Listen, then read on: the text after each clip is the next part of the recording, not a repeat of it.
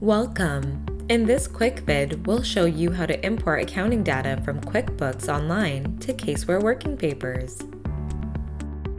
To get started, download the QuickBooks Export utility from My Caseware. This utility ensures that the imported data is compatible with your Working Papers file. Log in to your My Caseware account. From the dashboard, click Support Downloads, then Working Papers select the QuickBooks Export utility from the list and click Download. Once the download finishes, run the installer and complete the installation.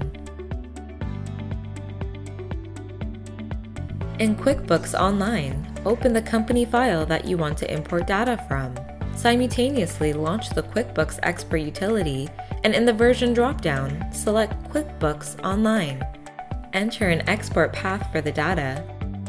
Then select Specify Last Transaction Date and enter the date applicable to the company file.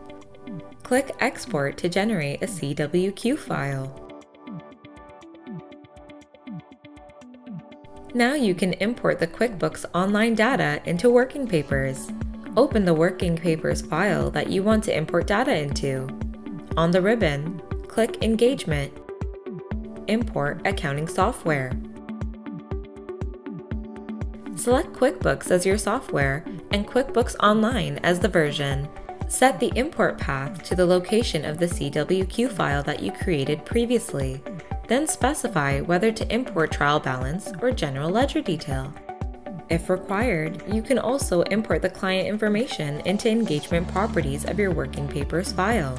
Then select the applicable client ID from the dropdown select any remaining options that are relevant to your import, then click OK.